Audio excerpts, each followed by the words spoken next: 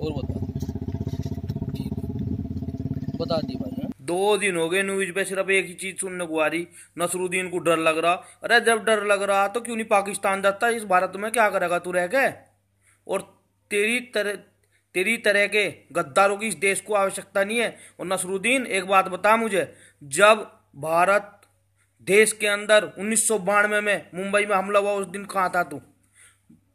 मुंबई में आतंकवादियों ने हमला करा, छब्बीस ग्यारह का जब कहाँ था, जब नहीं डर लग रहा था? जम्मू कश्मीर से हिंदुओं का पलायन हो रहा, जब डर नहीं लग रहा था।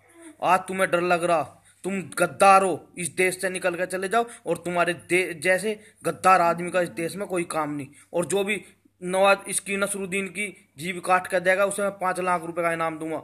आपका भाई ठाकुर मोनू कुर्तल, यह बात आप सबसे कह रहा ऐसे गद्दार आदमी का इस देश में काम नहीं। जो यहाँ का माहौल खराब करने का काम करता हो, ऐसे आदमी को इस देश में रहने का क्या अधिकार है? अपना पाकिस्तान जाओ।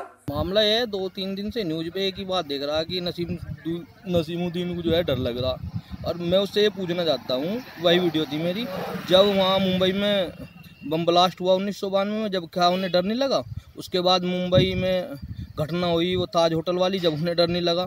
और उससे पहले भी यहाँ से अपना जम्मू कश्मीर से पलायन हुआ हिंदुओं का जब भी उसे डर नहीं लगा। तो ऐसे आदमी को तो भारत देश में रहने की ज़रूरत ही नहीं है अपना पाकिस्तान चला जाए क्या आपने आपने एक बयान में आप एक भी कहा है कि जो भी नसीमुद्दीन शाह की जीप काट कर ला के देगा उसे इनाम मिलेगा पाँच लाख का। हाँ मैंने ये दिया है। क्या कहा जो भी उसकी जीप काट के देगा पाँच लाख का इनाम देंगे